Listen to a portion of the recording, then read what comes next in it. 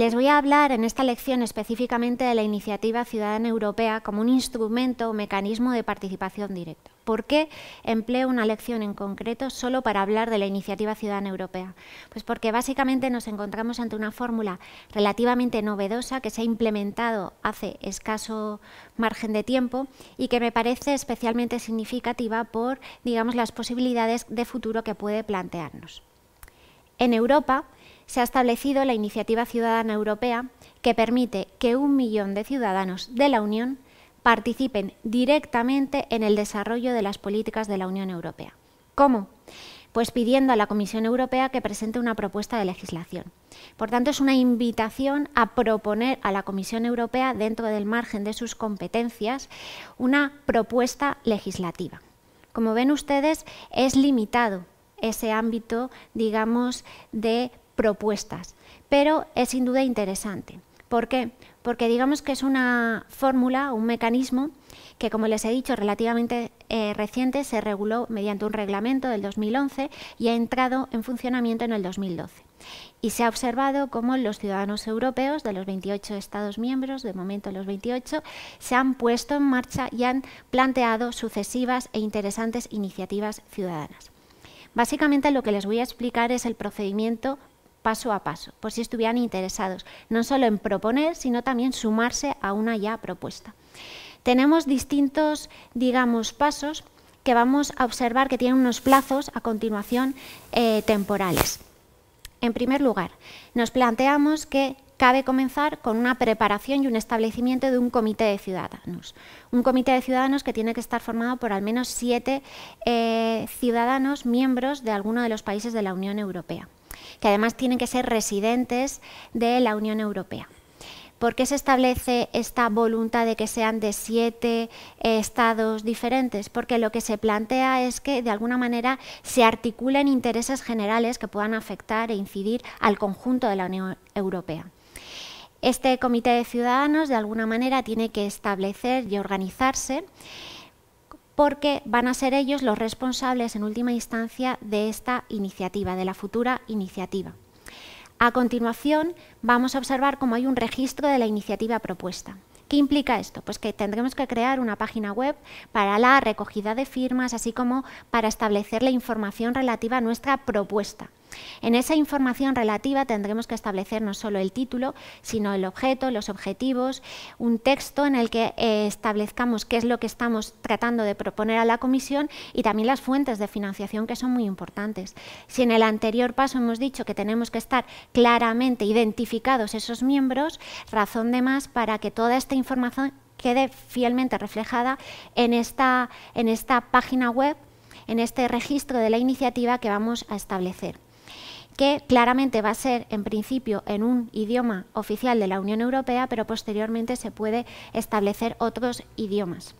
Plazo máximo, dos meses. A continuación, vamos a observar cómo va a ser la autoridad nacional competente de cada uno de los Estados miembros implicados en esta iniciativa la que nos va a certificar, en tercer lugar, el sistema de recogidas a través de la página web que puede ser con un software abierto o no, para certificar que efectivamente este sistema de recogida de firmas obedece a las formulaciones y a los requerimientos que se exigen, sobre todo en atención a la protección de datos, tenemos un máximo de un mes para contestarnos que está todo conforme a lo que establece el reglamento.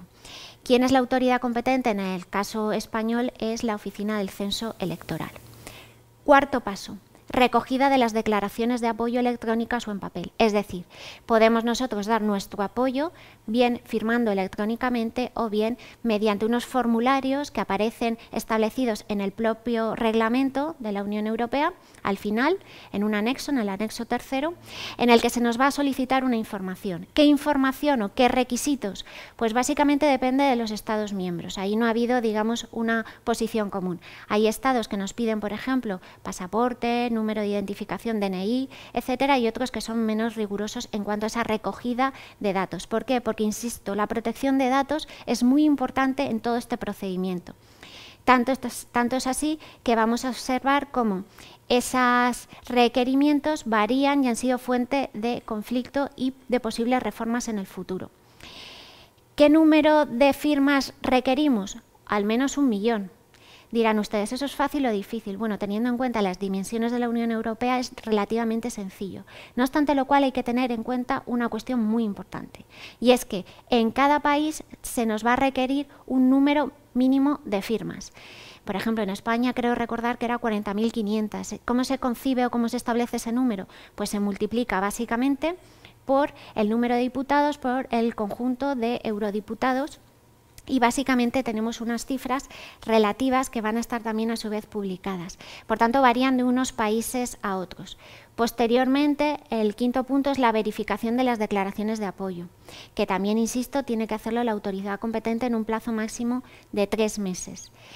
Esto es importante porque las, declaraciones de apoyo se van a hacer en papel o vía electrónica y deben de seguir un riguroso, digamos, establecimiento, un control de esa esas efectividad y autenticidad de esas declaraciones de apoyo. Por último, presentación de la iniciativa ante la Comisión. Nos vamos a presentar ante la Comisión con esa propuesta legislativa eh, básicamente nos reuniremos, hay una audiencia pública y plantearemos cuál es ese texto y qué es lo que pretendemos de alguna manera eh, establecer en esa propuesta, esa iniciativa en torno a algún tema, insisto, que sea competencia de la Comisión. Volvemos a indicar y a insistir en la idea de que es una propuesta legislativa que hacemos a la Comisión, pero que en última instancia es la Comisión la que va a autorizar o no, la que va a decir podemos seguir adelante o no. ¿Por qué motivos? Pues puede haber muchos motivos que impliquen que la comisión diga que de alguna manera no está de acuerdo o conforme o no quiere seguir adelante, bien porque la materia no sea, digamos, de su competencia, bien porque se incumplen algunos de los pasos anteriores o por otros muchos motivos. Y esto lo va a hacer en el último de los pasos, que es el examen, audiencia pública y parlamento. La respuesta de la comisión va a tener un plazo máximo de tres meses. Pasado ese periodo, evidentemente podremos ver si ha sido aceptada y sigue adelante en ese procedimiento legislativo o no ya que si la Comisión decide seguir adelante con la iniciativa se pone en marcha el procedimiento legislativo que va a ser arduo y va a implicar de alguna manera que nuestra materia, que inicialmente quedaba propuesta con unos determinados criterios y bajo unos determinados puntos específicos que nosotros queríamos hacer especial incidencia, pueden quedar fielmente o no reflejada en el texto final, es decir, no es vinculante para la Comisión ni muchísimo menos y por tanto el procedimiento legislativo es abierto y va a entrar en funcionamiento eh, en lo que es las instituciones de la Unión Europea, en concreto, por ejemplo, el Parlamento. Pues bien, a lo largo de este tiempo de implementación, del, del 2012 hasta la actualidad, se han presentado multitud.